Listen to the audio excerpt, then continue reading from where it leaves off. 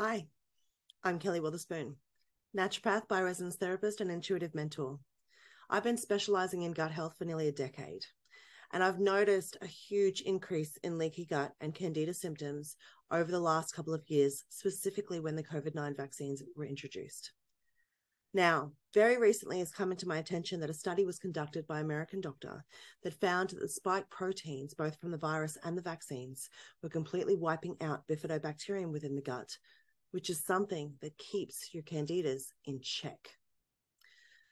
And so, if you have been suffering from COVID or from long COVID, if you've received a vaccine and then noticed that your symptoms start, started to go out of control, then this is something that you can get some help with.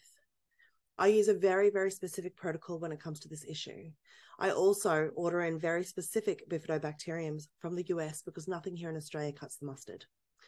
And so, if this is something that you're suffering with and you've been suffering with specifically since the introduction of the vaccines or since you had COVID, then come and see me so that we can confirm that this is going on for you, that we can put a plan in place and that you can start to recover your health quickly.